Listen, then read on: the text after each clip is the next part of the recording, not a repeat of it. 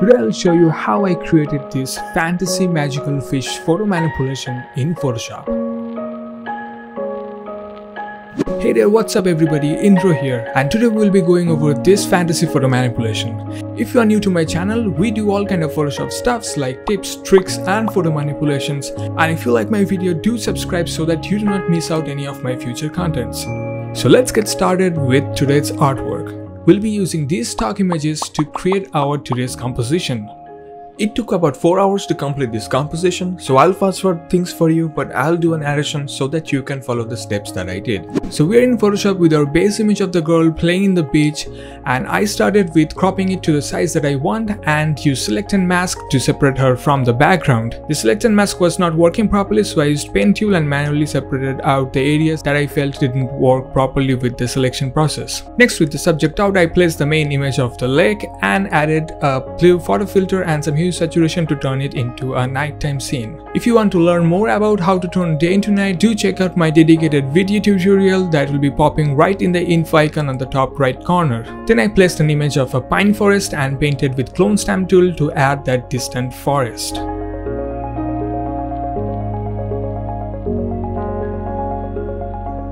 Next I placed another image of the lake and I masked out the top portion with a custom smoke brush so that we have these nice rocks at the very bottom.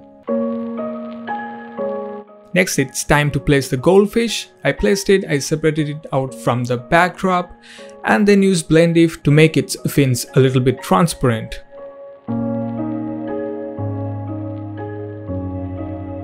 Then it's time to add the study background. I replaced the sky with the night sky so that we have a more authentic feel. Next is the time to add the glow to the fish. I added an outer glow with linear dodge as blend mode and added a color overlay with hard light as the blend mode. I did some tweaks with the Blend-If to restrict the color overlay on the white regions. I won't be that much satisfied with it right now so I'll be visiting it quite often to get the perfect look that I was looking for. Then I added another glow layer and I painted with a brush manually on the layer mask with white to specifically light up the areas that I felt like. I did some highlights on the body of the fish and bright glows at the peripheral region of the fins. The glow is too bright, I'll be reducing it at the later part of the video.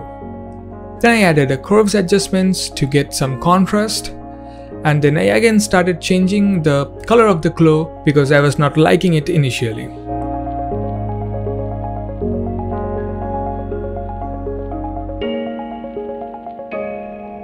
Next I added some fog to our composition with a custom smoke brush that I downloaded from brusheezy.com.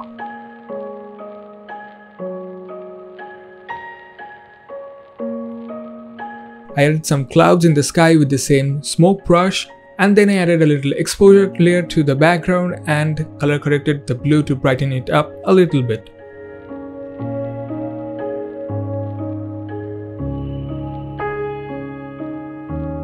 Then I duplicated the curl with the original colors and added a warming photo filter on top of it and added an inverted layer mask so that everything gets hide and I started painting with white on the layer mask to show the highlights region.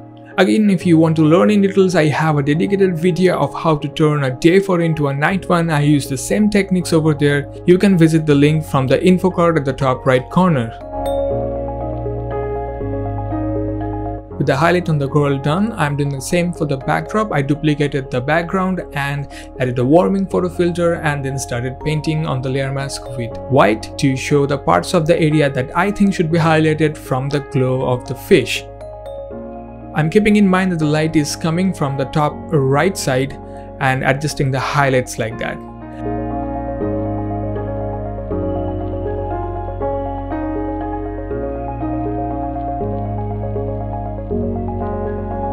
Added a dark exposure layer to add that immediate shadows that will be casted on the girl because of the light from the top right side.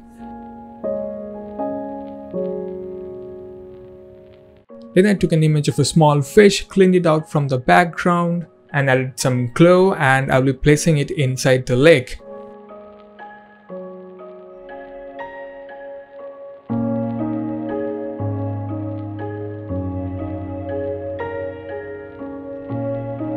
Then I duplicated it to represent a school of fish or a group of fish.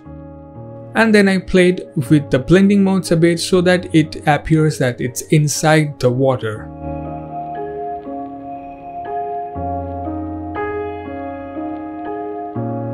I added some outer glow and some color overlay to give it a feel that it's inside the water. I didn't like the pink glow on the color overlay so I changed it to orange. Then I added a warming filter to have an overall orange hue on the total composition and with that I created a custom scatter brush with simple hard round brush. With that I'll be doing the fairy dust or the magic dust of the magical fish. I used a blank layer with some color overlay and outer glow and painted with pale yellow color to create that magic dust. Next I created a dark exposure layer and painted some shadows of the girl that will be falling on the ground. Then I'm off to create some grass on the foreground. I took an image of tall grass. I filled the person in the center with content aware fill and then added the same photo filter and hue saturation layer to turn it into a nighttime image. And then I used some custom brush that is downloaded from brusheezy.com and added the grass on the foreground of the composition. I duplicated the starting image, added an inverted layer mask and painted on the layer mask with white to add the grass. Then I added an orange hue saturation layer, clipped it to the group that contains all the grass layers, added an inverted layer mask to it and painted on the layer mask with white to show parts of the grass that will be glowing from the light that is coming from the fish. Next with that done, I'm using the same smoke brush to add some fog at the very front. I changed the color tone to blue. Next, with the same custom brush with which I did the fairy lights, I did the glowworms. I took a blank layer with greenish yellow color overlay and glow and added the glowworms. Next, I organized the layers with color coding and groups because it was really becoming difficult to manage and then I made some adjustments so that the small group of fish looks that it's inside the water. I duplicated the initial image of the lake and took it on top of the fish and with some blending mode adjustments I tried to create an overlay of the water on the fish. Next I duplicated it to create another group at a different position in the lake. I created variations by moving some fish here and there. Next I added some bluish indigo color cast on the small fish so that it has a blue color cast of the water. And I painted on the fish manually to add some reflection of the light on the water surface. With that done, I am off to add the reflection from the fireflies. I took a solid color layer and changed its blending mode to soft light, added an inverted layer mask and painted on the layer mask with white on the areas where I feel there should be reflection of the firefly's light.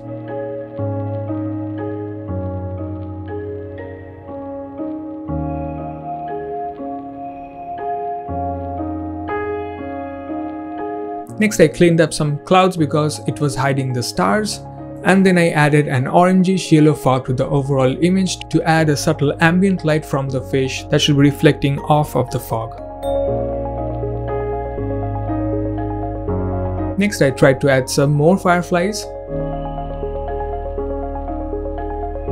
and I cropped the height because I thought it was a bit tall and cleaned up some more clouds to show up some stars. Then I took everything and converted it into a smart object so that I can add some camera raw filter on top of it. With the camera raw filter, I brought up the whites a bit and added some details in the shadow. Since it's a smart object, I can anytime go inside it and make adjustments to the individual elements. And I reduced the size of the magic dust that is falling off of the magical fish. I did not like the glow that much, so I created a solid color fill layer with hard light as blending mode and then painted manually to get that perfect glow that I was looking for. I also reduced the overall glow because I thought it was too harsh and reduced some of the magical dust because I thought it was too much.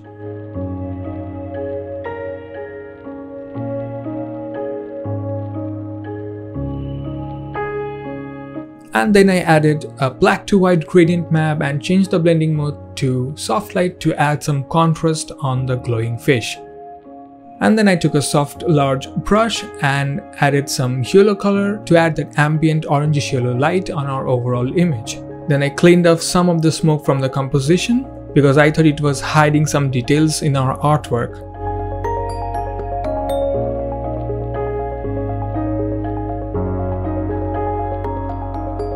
And at the very end I created some more copies of the pine forest to add some depth at the vanishing point of our composition.